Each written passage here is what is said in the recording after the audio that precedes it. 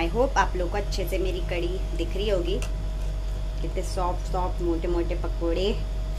और ये मस्त एकदम मुँह में घुल जाने वाली। Friends welcome to my channel आज हम बनाने जा रहे हैं करी पकोड़ा और राइस मैं आप लोगों से कर, आप लोगों को करी पकोड़ा की रेसिपी बताऊँगी वो भी अपने स्टाइल में। देखिए ये है कड़ी पकोड़ा के लिए मैंने जो लिया है, ये बेसन, लाल मिर्च, नमक, हल्दी और धनिया पाउडर और थोड़ा सा जीरा पाउडर। ये आप अपने टेस्ट के बेस पे डाल सकते हो, जितना आपको खाना पसंद है। ये जो बनेगा, इसमें हम मट्ठा डालेंगे। अगर आपके यहाँ मट्ठा नहीं है, छाछ नहीं है तो आप दही यूज़ करके इसका बैट घोल बना के इससे कड़ी बना सकते हैं, ठीक है? और सेकंड ये मैंने लिया है इतना बेसन। ये है कम से कम एक कटोरी डेढ़ कटोरी बेसन। इसमें हम, इससे हम पकोड़े बनाएँगे जो कड़ी में डलते हैं। ये है कसूरी मेथी, नमक, हल्दी सॉरी नमक, हल्दी और ये है बेकिंग सोडा। ना कि बेकिंग पाउडर, अगर आपके पास बेकिंग सोडा नहीं है तो आप बेकिंग पाउडर डाल सकते हैं। वो थोड़ा ज़्यादा डालेंगे आप, ठीक है? और इन सारी चीज़ों को हम इस पकोड़े वाले बैटर में मिला के इसका एक स्मूथ सा पकोड़े जैसे आप पकोड़े बनाते हैं, उस तरीके का एक बैटर बना लेंगे, ठीक है?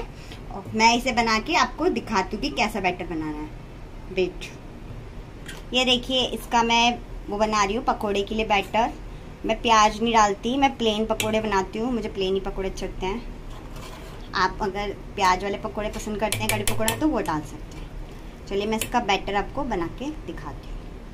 ये देखिए, मैंने इसका एक स्मूथ सा पकोड़े वाला बैटर बना लिया है। इसको हम थोड़ी देर रखेंगे, तब तक हम अपने बेसन वाला जो मट्ठे का घोल बनाना है, इसमें वो घोल बना लेंगे, ठीक है? इसमें हम सारा मट्ठा डाल देंगे, छाछ, और इसका घोल बना के मैं अभी आपको दिखाती हूँ। ये देखिए, हमारा तेल गर्म हो रहा है गैस पर, और ये हमारा मट्ठा देखिए, रेडी हो गया। ये देखिए, ये मैंने इसे घोल लिया है। तो ये तेल जैसे ही गर्म हो जाए, इसमें हम राई डाल देंगे। लोग बहुत सारी चीज़ें डालते हैं। कुछ कड़ी पत्ता, मैं सिर्फ़ राई डालती हूँ, और कुछ नहीं। और ये जैसे चटक जाए इसमें ये देखिए। मैंने ये अदरक और थोड़ा सा लहसुन लहसुन को कूट के रखा है। ये थोड़ा अदरक और लहसुन को कूट के रखा है। इसे कूट लिया हल्का सा, इसे डाल देंगे इसमें।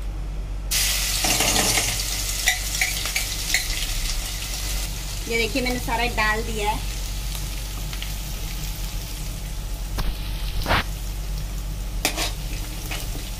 इसमें डालने के बाद ये जो घोल था तो थोड़ा हिलाएँगे।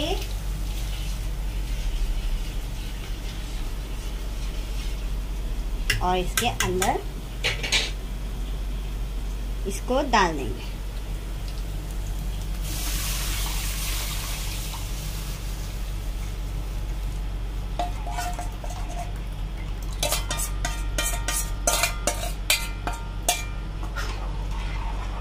यहाँ पे हमें जितना हमने डाला है ना, इतना ही हमें पानी भर के डालना है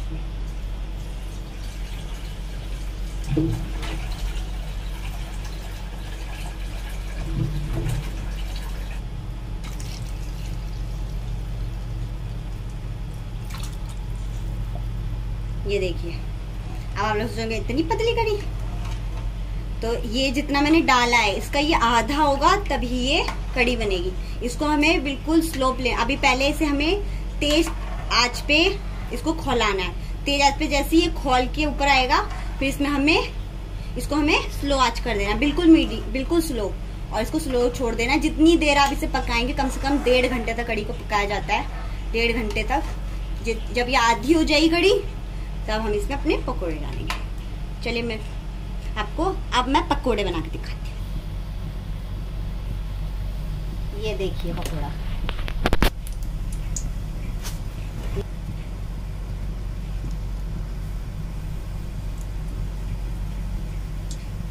तेल हमारा बहुत ज़्यादा गर्म था, इसी वजह से ज़्यादा लाल हो गया है।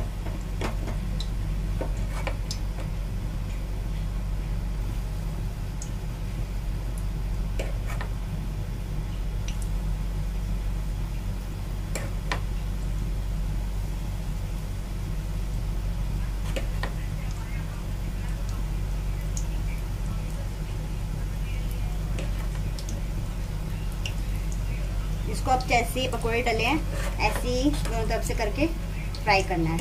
चलिए मैं आपको सारे करके दिखाऊँगी। ये देखिए, हमारे सारे पकौड़े बनके रेडी हो गए हैं। ये देखिए, कितने सॉफ्ट सॉफ्ट है। आप सोचोगे इतने डार्क क्यों हो रहे हैं? तो मैंने इसमें बेकिंग सोडा डाला था, मैंने आपको बताया था। बेकिंग सोडा डालने से पकोड़े रेड ही होते हैं, ज़्यादा कलर आ जाता है उनका। तभी मार्केट वाले बेकिंग सोडा डालते हैं। उनको तभी लाल लाल पकौड़े होते हैं। अगर आप बेकिंग पाउडर डालेंगे तो इतने लाल नहीं होंगे। ठीक है, मेरे पे बेकिंग पाउडर था नहीं, ख़त्म हो गया था। लास्ट वीडियो मैंने कोई रेसिपी शेयर करी थी, उसमें डाल दिया था। इसलिए आज मैंने बेकिंग सोडा डाला।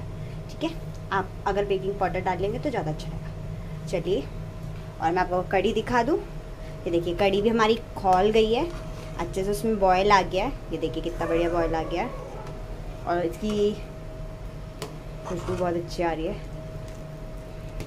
ये देखिए, थोड़ी सी गाड़ी भी दिख रही है और इसमें छोटे छोटे चंक से दिख रहे हैं ना आपको तो अब ये मैं सोचेगा कड़ी ऐसी रहेगी फटी फटी सी, ऐसा नहीं होगा। ये जब गाड़ी हो जाएगी तो ऑटोमेटिक अपने आप अच्छी हो जाएगी। और जितना है ये दिख रहा है आपको, इसका हमें अभी आधा करना है, अभी और भी हमें गाढ़ा करना है। कम से कम हमें डेढ़ घंटे तक पकाना है। जितना ज़्यादा पकेगी कड़ी, उतनी ही टेस्टी बनेगी। मैक्सिमम आप आधा एक घंटा तो पकाइए पकाइए। इतना आप अगर पकाएँगे तो आपकी कड़ी सबसे अच्छी बनेगी। ठीक है? चलिए, ये गाढ़ी हो जाएगी कड़ी तब मैं आपको दिखाती हूँ इसमें पकौड़े डाल कर कि ये कैसी दिखती है।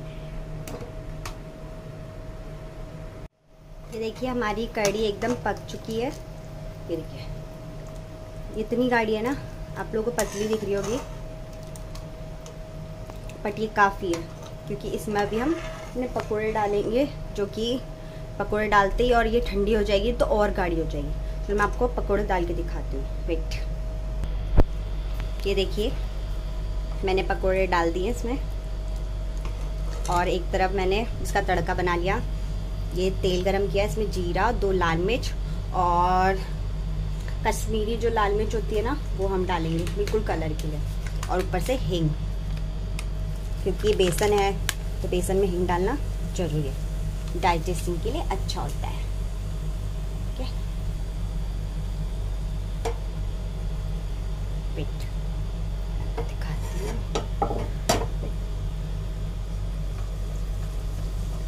वैसे बनाएँगे इसमें हिंग डाल के मैं इसे अपनी कड़ी में ऐड करके आपको दिखाती हूँ। वेट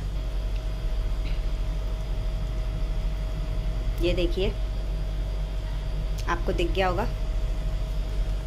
मैंने इसे कड़ी में ऐड कर दिया अपने तड़के को। और साथ में ये मैंने कसूरी मे, मेथी जो होती है, कसूरी मेथी, उसको रोस्ट किया और क्रस्ट कर लिया और उसमें ऐड कर देंगे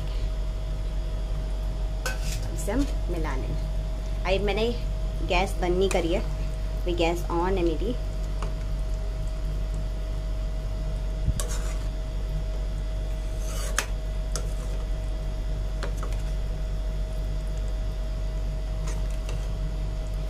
ये देखिए आई होप आप लोग को अच्छे से मेरी कड़ी दिख रही होगी। कितने सॉफ्ट सॉफ्ट मोटे मोटे पकोड़े। और ये मस्त, एकदम मुँह में घुल जाने वाली कड़ी आप लोगों को बहुत पसंद आई होगी। अगर मेरी कड़ी की रेसिपी आप लोगों को अच्छी लगी तो प्लीज़ मेरी वीडियो को लाइक कीजिएगा कमेंट कीजिएगा और शेयर ज़रूर कीजिएगा। और इसके साथ हम खाएँगे प्लेन राइस और अगर आपको इसे खाते हुए मुझे देखना है तो मेरे दूसरे चैनल पे जाके विज़िट कीजिएगा। उसका जो लिंक है, मैं डिस्क्रिप्शन बॉक्स में आपको दे दूँगी।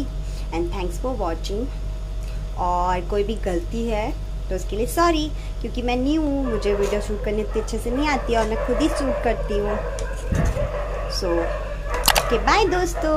Love you all